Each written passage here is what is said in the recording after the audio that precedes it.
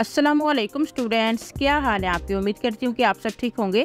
और आज आप लोगों के साथ जो हमारे powdery matte eye shadow palettes होते हैं, उन पैलेट्स को यूज़ करते हुए आप कैसे लाइनर समझ प्रूफ लाइनर का लुक अचीव कर सकते हो? तो बहुत मज़े की टेक्निक आप लोग, आप लोगों के साथ आज शेयर करेंगे। तो वीडियो को आपने लास्ट तक देखते रहना है। स्मच प्रूफ लाइनर की टेक्निक को शुरू करने से पहले आईब्रो में लाइट से फिलिंग कर रहे हैं ताकि प्रॉपर हमारी आईब्रो की एक शेप आ जाए। सबसे पहले कंसीलर का यूज़ करूँगी मैं। कंसीलर आप कोई भी लाइट कलर का कंसीलर यूज़ कर सकते हो। मैं पिकल्योर का कंसीलर यूज़ कर रही हूँ और एक लाइनर ब्रश यूज़ कर रही हूँ। ठीक है? अब मैंने थोड़ा सा लाइनर ब्रश के ऊपर कंसीलर को जो है वो अप्लाई करना है, कर लेना है और आउटर कॉर्नर पर आपने इस तरह से एक विंग क्रिएट कर लेना है। ठीक है? और उसके बाद आपने इसी विंग को मिड तक जो है, वो आँख के मिड तक लाकर और इस तरह से मिला देना है। क्योंकि ये सेम वैसे लगा रही हूँ जैसे एक लाइनर का लुक होता है और इसको मैंने बाहर जो इसकी विंग थी, उसे और ज़्यादा शार्प कर देना है और जहाँ जहाँ पर भी आपने मतलब लाइनर की जितनी शेप आपने अप्लाई करनी है सेम उतनी ही जगह पर आपने अपनी कंसीलर की हेल्प से कंसीलर अप्लाई कर लेना है। प्रॉपर कंसीलर की मदद से लाइनर लगाने के बाद जो है, जैसे कि मैंने आईब्रो की शेप की हुई है, ठीक है? तो आईब्रो की शेप को भी नीट करने के लिए सेम लाइनर ब्रश की मदद से ही एक लाइन ब्रो बोन एरिया पर क्रिएट कर लूँगी। अब जैसा कि आपको पता है कि कंसीलर को फिक्स करने के लिए पाउडर का यूज़ किया जाता है तो अब मैं पाउडर का यूज़ करने जा रही हूँ और पाउडर मैं इस वक्त लाइट नहीं लूँगी। अदरवाइज़ हम लाइट कलर के साथ इसे फिक्स करते हैं, लेकिन अभी मैं डार्क यानी कि ब्लैक कलर के पाउडरी शेड के साथ इसको फिक्स करूँगी। ये मैंने पाउडरी शेड लिया है, आपके पास जो आई शेडो पैलेट्स होते हैं, उसमें से आप कोई भी पाउडरी शेड ले लें और अपने लाइनर को इसके साथ जो है, जो आपने कंसीलर यूज़ किया हुआ है, उसके ऊपर ऊपर आपने इसको अप्लाई कर देना जस्ट उसी जगह पर, जिस जगह आपने कंसीलर लगाया हुआ है। ये पाउडर है और कंसीलर हमारा थोड़ा लिक्विडी सा होता है तो उस, ये अच्छे से उसको पकड़ लेगा ब्लैक कलर को। और बहुत अच्छे तरीके से आप इसकी ब्लेंडिंग करके स्मच प्रूफ लाइनर का लुक अचीव कर पाओगे। अब आप अपने कंसीलर ही को फॉलो करना है। जहाँ तक आपने कंसीलर की विंग बनाई है, वहाँ वहाँ पर ही आप अपने पाउडरी ब्लैक शेड को अप्लाई करके अच्छे तरीके से ब्लेंड कर दोगे। ठीक है? ये मैंने जो हमारा आईब्रो वाला तिरछा ब्रश होता है, उसकी हेल्प से अप्लाई कर रही हूँ। अब मैं इस सेम कलर को ब्राउन कलर के साथ लाइट सा जो है वो ब्लेंड करने जा रही हूँ। ठीक है? आप चाहें तो इसी तरह इसी ब्लैक कलर के साथ भी इसकी ब्लेंडिंग कर सकते हैं। लेकिन मैं थोड़ा सा इसमें ब्राउन कलर जो हमारा पीची ब्राउन कलर होता है, उसके साथ इसकी हल्की सी शेड बना रही हूँ और इस तरह से जस्ट मैंने अप्लाई किया है और एक बड़े ब्रश के साथ जो फ्लफ़ी थोड़ा ब्रश होता है, उसकी मदद से इसको ब्लेंड कर दूँगी।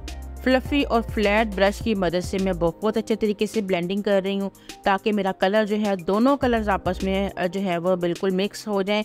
ठीक है? तो इस तरह से आपने बहुत बाहर तक नहीं लेके जाना है। जस्ट इतना सा आपने कलर अप्लाई करना है, वैसे भी हुडी डाइस पे हम काम कर रहे हैं।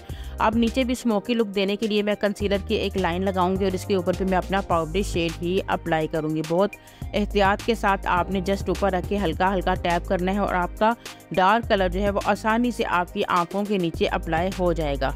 अभी मैं आपको बताती हूँ कि छोटी आँखें होती हैं जिसके नीचे लाइंस बहुत ज़्यादा होती हैं, बहुत एहतियात से हम लोगों को वहाँ पर डार्क कलर्स की एप्लीकेशन करनी होती है। अदरवाइज़ जो लाइंस आ रही होती हैं, वो लाइंस में बार बार हमारे डार्क कलर्स फैल जाते हैं, ठीक है? तो छोटी आँख पर हमेशा या लाइन्स बहुत ज़्यादा अगर आँखें नीचे हैं तो आपने अवॉइड करना है और आपने कभी भी डार्क कलर्स को छोटी आँख पर अप्लाई नहीं करना है, ठीक है? और अगर आप अप्लाई करते भी हो तो आपने उसे ब्लेंड कैसे करना है, बहुत सारी टेक्निक्स आपको इस वीडियो में बतानी है। हम लोगों ने तो वीडियो को आपने लास्ट तक देखने अब यहाँ देखें जी, जहाँ तक हमने कलर अप्लाई किया वहाँ तक हम लोगों ने कंसीलर को अगेन यूज़ किया है। ठीक है, इस तरह से जितनी शेप हमारी है कंसीलर की, इस तरह से हमने कंसीलर से की, एक पूरी विंग लाइन जो है वो बना ली हुई है और इसको एक फ्लैट ब्रश की मदद से हल्का हल्का सा जो है वो ब्लेंड कर रहे हैं या अपने फिंगर की मदद से भी आप इसको जो है वो ब्लेंड कर सकते हैं। जब ब्लेंड हो जाता है तो जो नीचे बची हुई जगह है जहाँ पर आपको खाली स्पेस नज़र आ रहा था, वहाँ पर अगेन हमने ब्लैक कलर को यूज़ किया है। अब ये देखें हमारा नीचे ऊपर बड़ा प्यारा सा एक विंग जो है वो क्रिएट हो चुका है, ठीक है?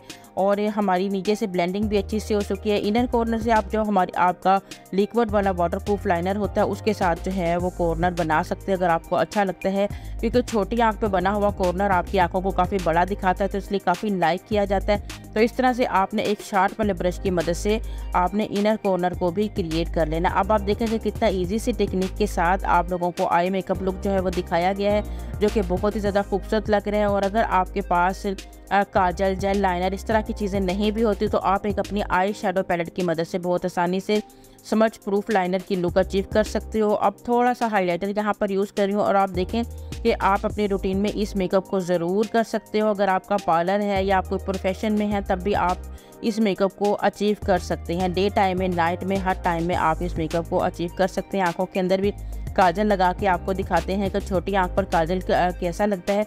जस्ट यही एक प्रॉब्लम होती है कि छोटी आँख के ऊपर जब भी आप डार्क कलर यूज़ करते हो वो थोड़ा फैलता ज़्यादा है, ठीक है? इसलिए हम लोग अवॉइड करते हैं कि छोटी आँख पर बहुत ज़्यादा ख़ास करके समर के मौसम में जो है वो डार्क कलर्स जो है वो नहीं अप्लाई करें, ठीक है? लेकिन कुछ छोटी आँख पर बहुत ज़्यादा खूबसूरत लगते हैं डार्क कलर और ये देखें जी, बची हुई जगह पर हमने इनर कॉर्नर पर ब्रो बोन एरिया पर हाईलाइटर का यूज़ कर दिया है। और ये हमारा जो है वो लुक अचीव हुआ है और थोड़ा सा वेलवेटी ऑरेंज शेड जो है, थोड़ा सा ग्लैमर लुक देने के लिए अगर आप चाहें तो आपकी मर्ज़ी है, आप इसमें ऐड कर लें। तो इसके बाद आपका, आपको जो है वो क्या फिनिशिंग मिलती है, आपको देखिएगा, लाजमी मज़े का कमेंट करके बताइएगा, ठीक है? कि आपको हमारा आज का ये वीडियो कैसा लगा है। इजाज़त दीजिए दुआ में याद रखिएगा, अल्लाह हाफिज़।